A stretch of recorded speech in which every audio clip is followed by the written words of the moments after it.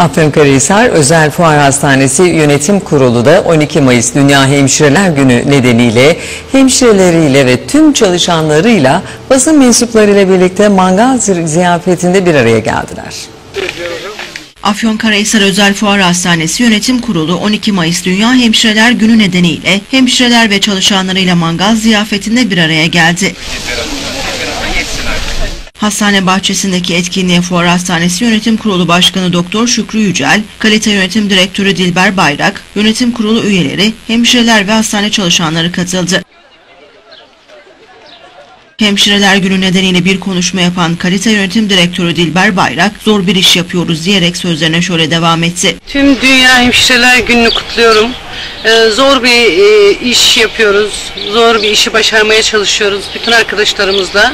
Ee, zorlu da olsa zevkli. Ee, insan hayatına, insan sağlığına katkıda bulunmak güzel bir şey.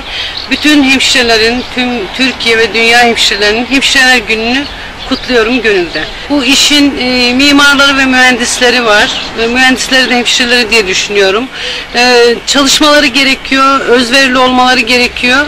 Kendilerini geliştirmeleri gerekiyor. Çünkü sağlık için hemşire sektörü, hemşire grubu çok önemli.